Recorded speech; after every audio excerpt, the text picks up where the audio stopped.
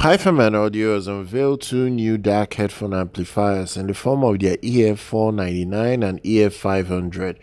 These are two relatively affordable DAC solutions that will suit different needs because they are slightly different from each other, but they do offer a lot for the money they're charging you.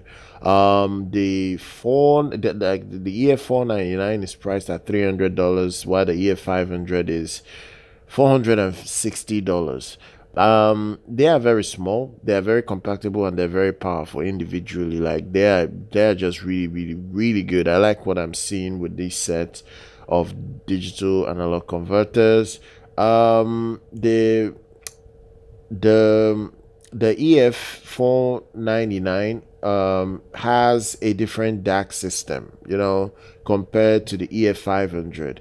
Uh, they feature quite similar design, so you don't have much of a difference in terms of their aesthetics. They are quite similar. Uh, now, one thing here is that you get at least fully balanced input and output connections. Uh, you also have your coaxial uh, connections on this uh, these two models. There is even independent power supply, um, and they they are built really well. Now the EF500, the difference now between the two is that the EF500 features HiFiMan's Himalaya LE ladder DAC. Uh, it's going to consist of an array of highly accurate resistors that can that that, that basically use uh, uh, the the ladder method of conversion the, now the company claims that this approach converts the digital signal with the goal of providing the lowest possible level of distortion along with improved levels of energy consumption.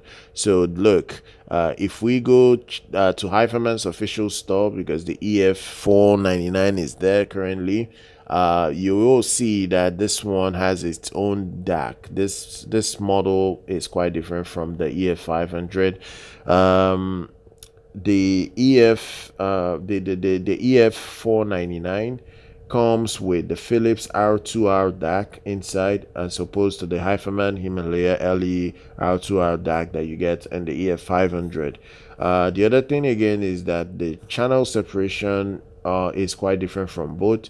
You get 95, uh, uh, 95 decibels uh, for the EF499, while you get 131 decibel uh, rating on the EF500.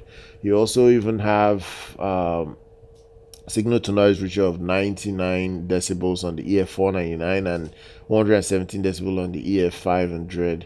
Uh, now, in terms of power output, uh, the EF500 is slightly more powerful than the EF499. The EF499 can deliver 4.35 watts per channel into 32 ohms in balanced mode, while the EF500 can deliver 4.5 watts per channel uh, into 32 ohms. So both are very, very powerful in terms of putting out a lot of uh, output. Now, if you are doing unbalanced, uh, the EF499 can deliver 1.28 watts per channel into 32 ohms, while the EF500 can deliver 1.32 watts per channel. Uh, they also have 6.35 millimeter single-ended uh, output. Both of them they do come with that. In fact, both of them do come with XLR pin balance uh, outputs as well.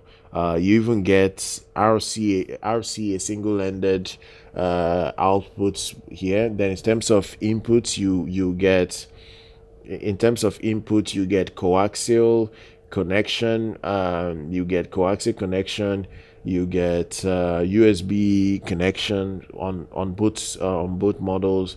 Uh, you even have volume control and they don't weigh much. They're just 3.3 kg for both of them you know? So they, they, they don't even weigh much by much uh, that. The, the only thing difference here is, is the DAC solutions that you get inside there and the slight uh, slightly more powerful output that the EF500 can give you.